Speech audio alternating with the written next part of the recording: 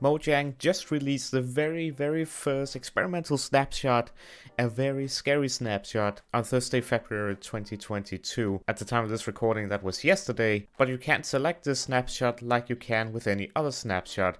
We need to install it in a specific way, and that is what I'm going to be showing you today. Now, the first thing I'm going to cover is if you are using MultiMC like I am, this is extremely easy, so I'll cover that as the first thing. If you don't know what MultiMC is, I highly recommend that you check out my tutorial series down below in the description. But all you gotta do is click add instance and then set a checkmark in experimentals and there you go 1.19 deep dark experimental snapshot 1 press ok and boom there you go. All you gotta do now is launch.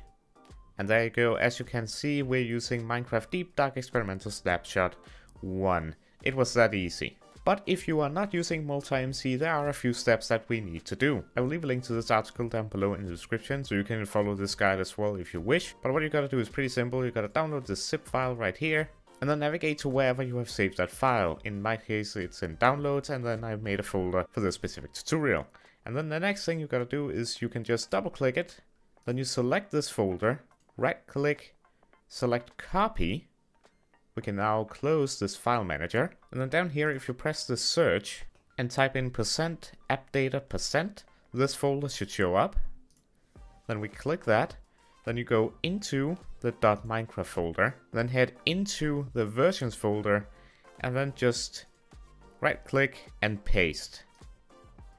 Just like that. Now if you are using a Mac, in Finder, go to menu, select go to folder and enter this in right here. Or if you're using Linux, the folder is located here.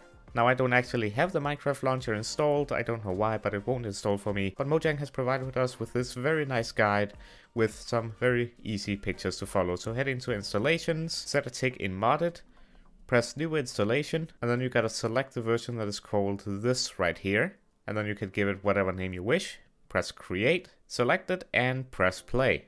And that's it. Now just remember this is an experimental snapshot, so I wouldn't go ahead and make any permanent worlds in this until more stable versions of this has been released, because things are experimental like it says, so things are not in the final state, so things are most likely to change in the future. But that's it, that's how you install the Deep Dark experimental snapshot. Again, all the links to the stuff that is down below in the description. And now that I've covered how to install the experimental snapshot, I'm gonna be uploading a video right after this one checking out the new features in the Deep deep dark snapshot. So if you're interested in that, I suggest that you click on that video.